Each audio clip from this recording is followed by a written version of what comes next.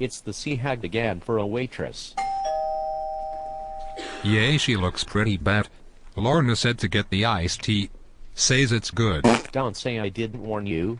I am going to have the fried veal cutlet patties in Mazola corn oil, and a side of chicken fingers. I Think you'll have the roast chicken and a large iced tea. Look at the dishwasher. Hum hum. A little chicken marriage. Well, that's really not my type, you know.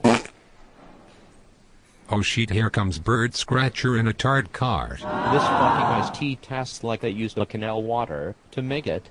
Yuck.